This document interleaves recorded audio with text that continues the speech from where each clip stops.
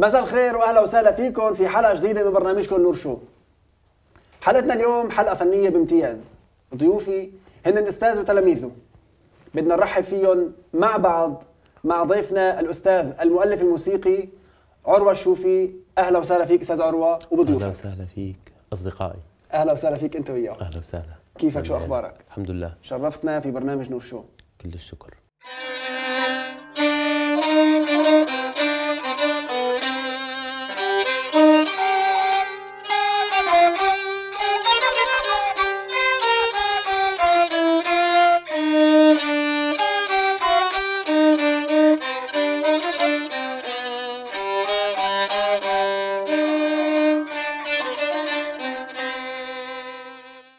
أستاذ عروة الشوفي. من هو باختصار؟ عروة الشوفي سوري آه، من محافظة السويداء موسيقي. بداياتك الفنية عروة كانت من وأنت صغير. تحكي لنا شوي عن هالبدايات لو سمحت. حبيت آلة العود كون الوسط حولنا يعني في آلات في موسيقيين وهي آلة تعتبر آلة تقليدية يعني عندنا. غالبا ما عدد كبير من الناس بيعزفوا على هاي الآلة.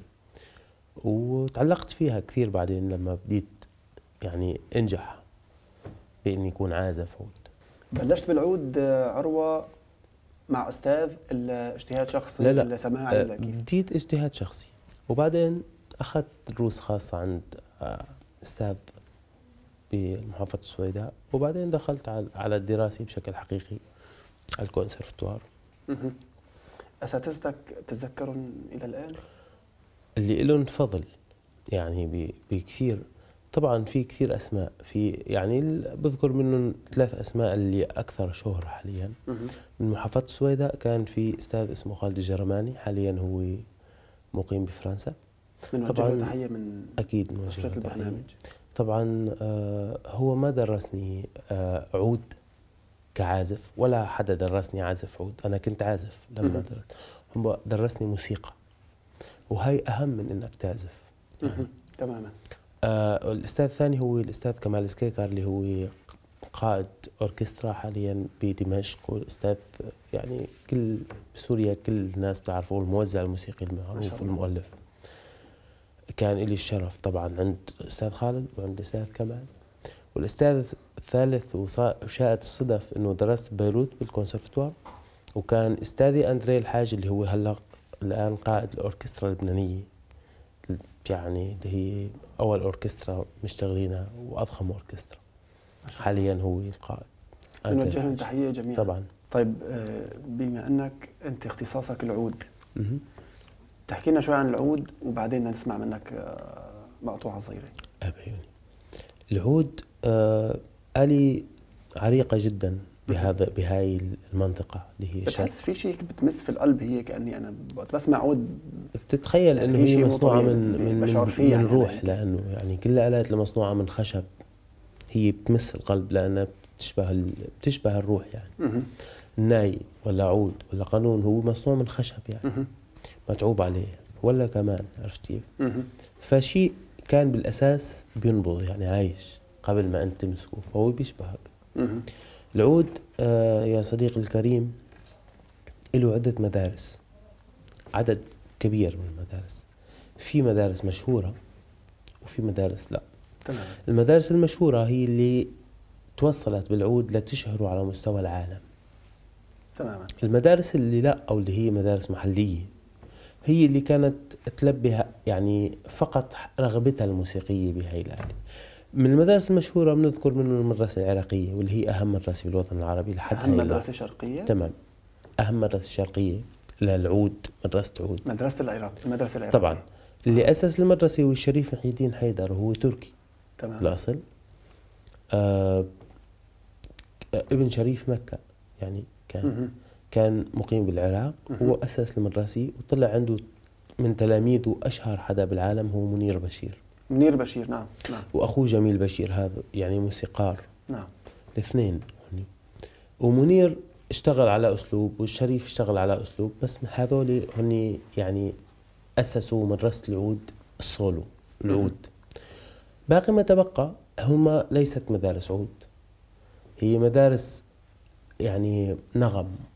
مش مدرسة آلي يعني. مش مدرسة تقنية.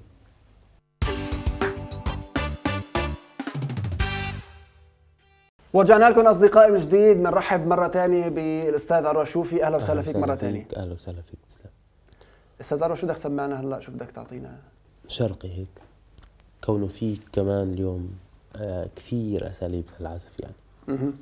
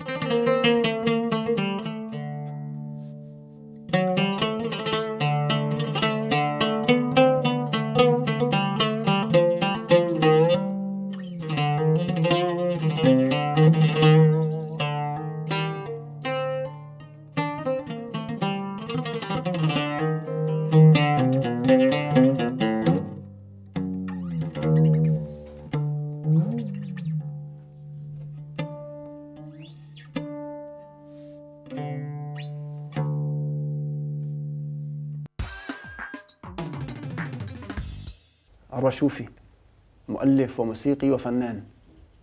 شكلت آه، أوركسترا من فترة بدك تحكي لنا عنها هالشيء هي لأني ضجت فيها أو يعني فيينا بشكل غريب يعني.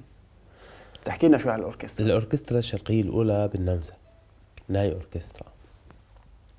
هو مشروع عمره سنتين تقريبا. بدأ عند معرفتي بالأم ماري تيريز كرياكي اللي نوجه هي لها تحية لها ألف تحية. المشروع بدأ عند معرفتي بهاي المرة. حكينا عن مشروع آه، بداية كورال. كورال. تمام. يعني الفكرة بلشت إنه تبلشوا كورال؟ تمام. لا هي كانت عم تطرح فكرة كورال. أنا طرحت فكرة فرقة. كانت بداية بسيطة جدا. عملنا تقريبا ما يزيد عن عشر حفلات بهاي ال... بهاي النمط. أيوه.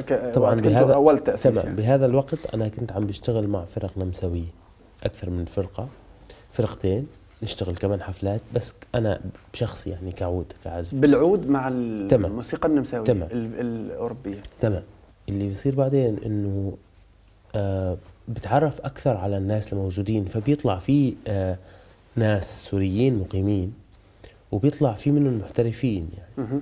هن بعاد لينز مثلا. ولكن نتواصل مع بعضنا وبنلتم العدد بكون سبع أشخاص. بقترح فكرة الأوركسترا. وبنبدأ العمل عليها بتبدأ تكبر هي. يعني هي ما بنشتغل أوركسترا بشكل حقيقي ليكون عندنا الرقم كامل. تمام؟ اللي هو العدد لازم يكون مكتمل للأوركسترا؟ لا هو هو ليس هو مش موضوع عدد وبس. يعني هو موضوع صوت. كتلي بس العدد اللي كان بشكل مبدئي لأوركسترا وتريه كان 20 تقريبا شخص بيعملوا أوركسترا صغيرة يعني.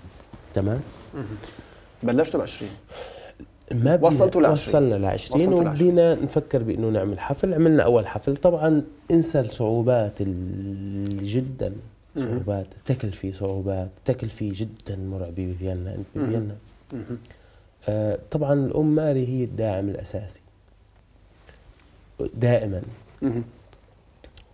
كمان بهاي الفترة يعني آه عملنا أول حفل نجح الحفل. ما كان نجاح باهر بس كان ناجح بالنسبة لحفل اول الحفل الأول. تمام. الاوركسترا ناي. تمام. هلأ الحفل الثاني هذا لأوركسترا ناي فقط. الحفل الثاني. لأوركسترا ناي. okay. الأوركسترا كان كثير أحسن. كان السبب أنه قمنا بهذا الحفل بموت theater بواحد من أشهر المسارح بفين. وكان المسرح نفسه معد بشكل صحيح. وكادر الموسيقيين اللي معنا. بشكل يعني كويس وأخذنا وقت أحسن بالبروفات يعني عملنا تقريبا ثلاث بروفات. بشكل حقيقي يعني. كان كويس. يعني طبعا نحن الحضور كان كبير. حضور كبير طبعا. كان العدد العام 420 كرسي. يعني لحد هاي اللحظة ما بنعرف بس ما يزيد عن 350 شخص اللي حضر عن. الحفل. فهذا يعتبر فل يعني حضور. كثير كويس. بالنسبة لنا نحن انطلاقتنا الأولى وكانت الانطباعات كثير كويسة. انطباعات ما كان سوت ضجه يعني شوي آه بينا. تمام آه كانت الانطباعات كثير كويسة. هلأ اللي كنا نقدمه بالأوركسترا هو مؤلفاتي. ومؤلفات صديق إلي اسمه أيمن هلال. من وجه له تحية. معلوم. أيوة. هو قائد الأوركسترا اللي قائد الأوركسترا بالحفلين. آه كمان كان معي أيمن كان معي أصدقائي فادي نحاس عازف الناي إلى هاي الأسماء. جميعاً. شباب. آه يعني الكادر الشرقي اللي كان معنا بالواحد. فهي بدأت تنشهر ال- القصة. وبهاي الفترة نفسها طرحنا مشروع جديد هو أوركسترا للأطفال. هو بقى يعني. بده يجي الحظ الحلو. تماما. الأطفال يعني هن تماما. اكبادنا تماما. الأطفال أوركسترا الأطفال برأيي الشخصي هي أهم مشروع أهم مشروع ثقافي فني راح نحظى فيه بكل فيينا تعرفنا عليهم لاني لسه ما ذكرنا أصدقائي؟ اسمهم ابدا؟ من اليمين ولا من اليسار؟ بدك؟ بنبلش من الكبير. هن كلهم كبار. كلهم كبار. كبيرة سنا. أني. أهلا وسهلا. أهلا وسهلا فيكم يا زينة. بنوتات الحلوات. زينة مين زينة؟ أهلا وسهلا فيك يا فعيلي تسو. انت؟ أنا بعزف على الناي. عناي يا أهلا وسهلا فيكي. أنا اسمي ليلى بعزف على القانون. على القانون. آم، عزفت بحلب آه، أخذت سنة سولفيج وعزفت تقريبا سنتين عزف. وهون يعني صرنا تقريبا خمس شهور بنعزف ما على شاء الله. مقطوعات. والأمورة اللي هنيك اللي أنا آه، أدريانا. وهلا هن بيعزفوا أي شيء الأطفال. أي شيء ب- بتقولون عليه بيعزفوا. طبعا النوط أصعب نوطة بفكوها. كل ما راح يقدموه هلا عندهم حفلة هون ب 27 الشهر 27 هذا الشهر. مهم. 27 واحد. 27 واحد. كل شيء بهاي الحفلة هو من تدريسي لإلهم. طيب و- تسمح لنا نسمع شيء منهم هلا؟ طبعاً. آه، عشان نكسبهم لأني أنا بدنا نشوف شو بدنا نسمع من الحلوات. الأصدقاء تسمعونا سماعي ولا لونجا؟ لونجا. يلا لونجا لونجا. مو بس لونجا صح لونجا؟ لونجا. أوكي.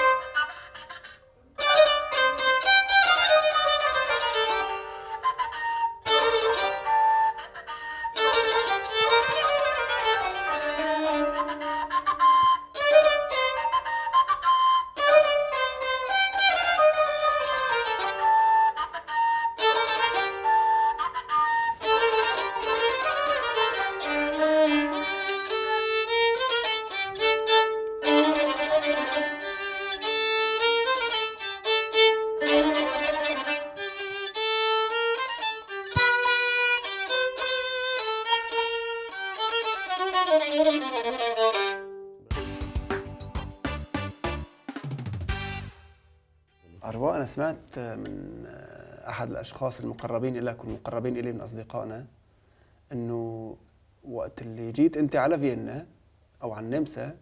أحد الناس سمع إنه أنت موسيقي فجاب لك عود هذا الشيء؟ تماما هذا صديق إلي اسمه فيلي بلاتر نمساوي نمساوي والقصة أنا جيت بلا آلي.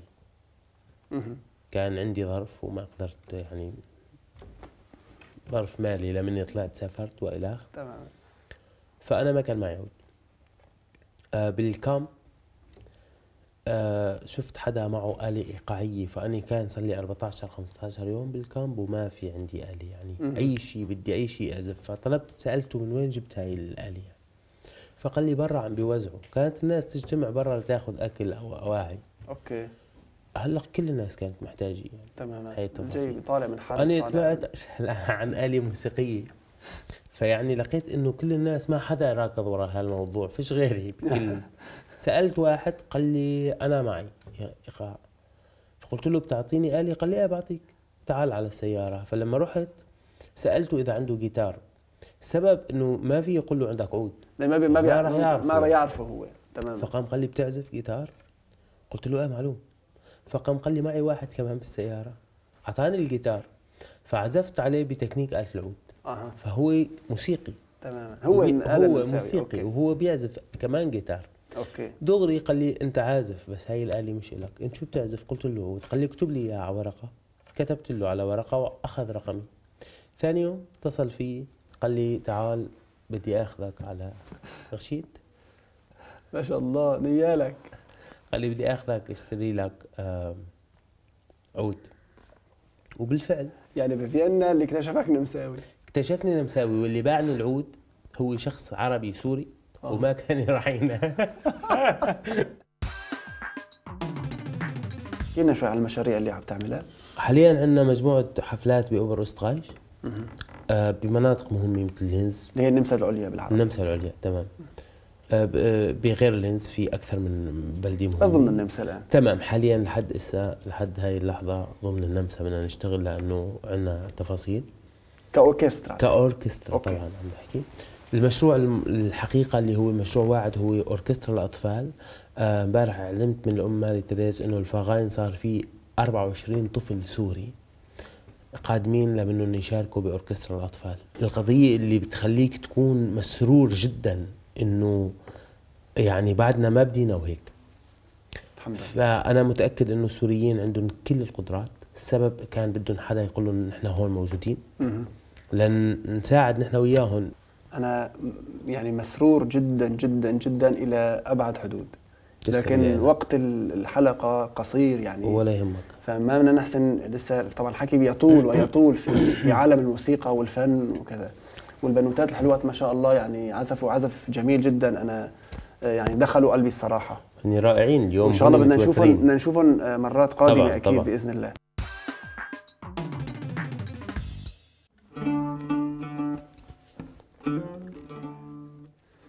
ال- ال- المقطوعة اللي بدك تسمعنا إياها هلأ هي من تأليفك. تأليف تمام. عروة شوفي. تمام. كوكتيل. كوكتيل.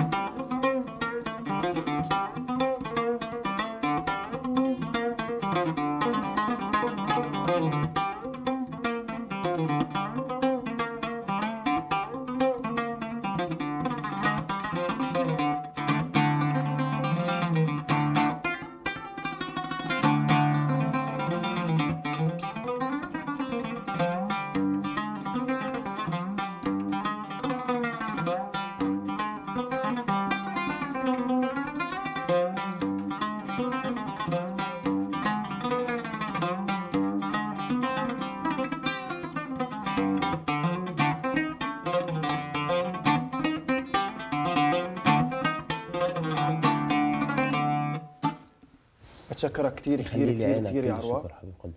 شو بتوجه آخر كلمة في نهاية هذه الحلقة؟ بوجه شكر لحضرتك ولكل مين آه، وقف كان داعم لمشروع آه، أوركسترا السوريين باللمسة. آه لأصدقائي الموسيقيين الصغار اللي بكرة راح نكون نحن عم نعزف وراهم قريبا إن شاء الله.